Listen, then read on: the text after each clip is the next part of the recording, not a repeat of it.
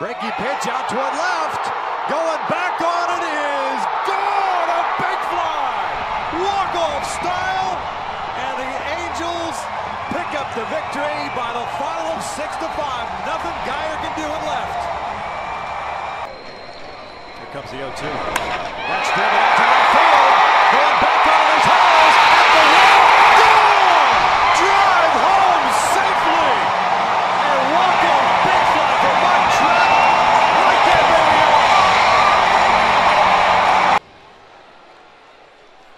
That is driven out the left center.